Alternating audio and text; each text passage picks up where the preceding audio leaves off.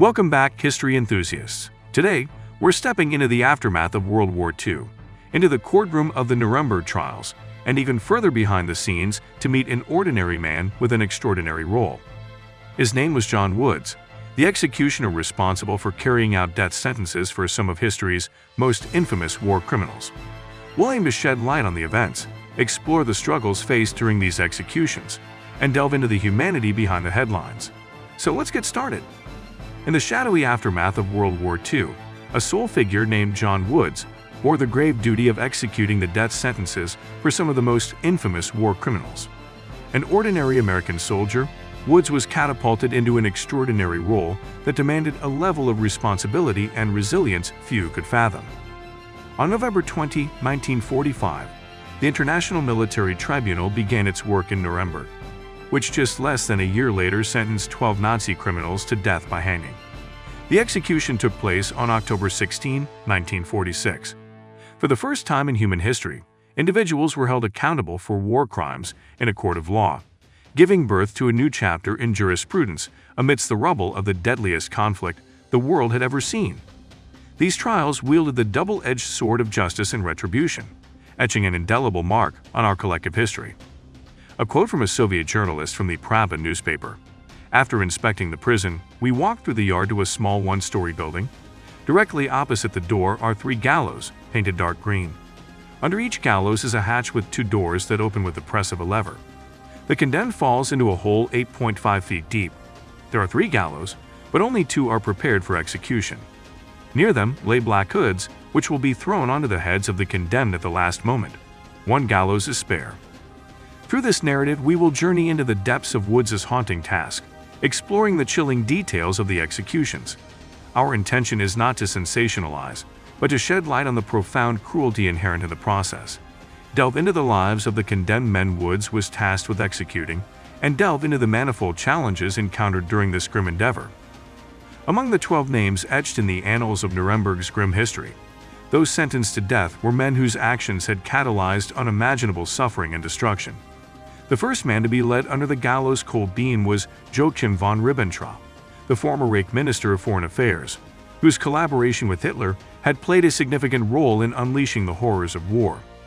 The execution process, punctuated by the calculated ticking of the clock, unraveled with unsettling precision. Ribbentrop, drained of color and tottering, was led to the gallows at the stroke of 1 o'clock a.m. on October 16, 1946. One by one, the other condemned men joined him, their stoic composure in the face of impending death a stark contrast to the heinous crimes they had committed. As John Woods later observed, they met their ends like brave men. Despite the unwavering demeanor of the condemned, executing the sentences was far from straightforward. The prisoners often opted for protracted death speeches, exploiting their final moments to articulate ideologies that had propelled the world into chaos.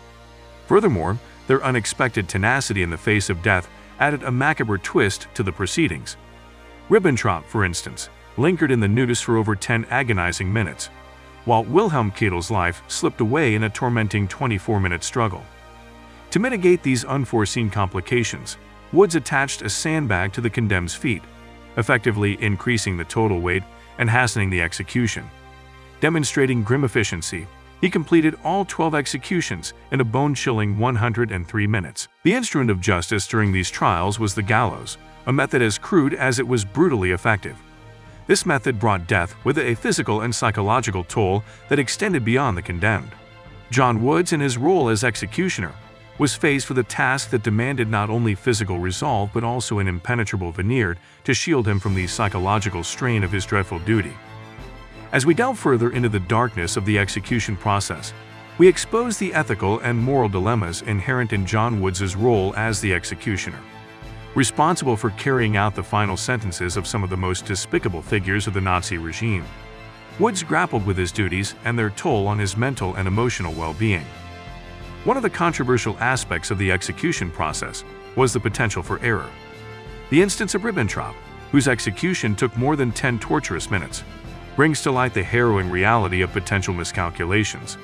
Additionally, the condemnation of these men raised questions about the due process for some defendants, particularly in the backdrop of the haste and urgency with which the tribunals were conducted. The public's reaction to the executions ranged from cries for justice to the horror at the raw display of death. Across the Atlantic, the reactions were varied, and international perspectives on the executions continued to evolve in the years following the trials.